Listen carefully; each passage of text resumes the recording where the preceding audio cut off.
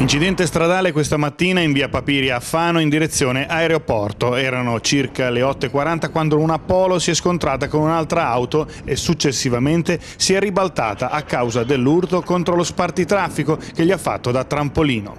La Polo, condotta da un ragazzo di 22 anni, originario di Cattolica ma residente a Rimini, arrivava dalla zona di Treponti ed era intenta a svoltare a sinistra verso Canale Albani, su via Papiria. È entrata in contatto, per ragioni ancora in fase di accertamento, con un'altra auto, una punto, condotta da una ragazza di 25 anni di Modena che procedeva in direzione opposta, ovvero sia dal mare in direzione monte.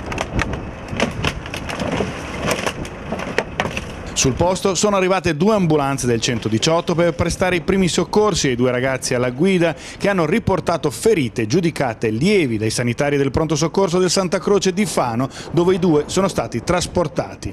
La prognosi è risultata di 1 e 4 giorni. Presenti sul posto inoltre due pattuglie della polizia locale di Fano, una per regolamentare la viabilità ed una per i rilievi di legge.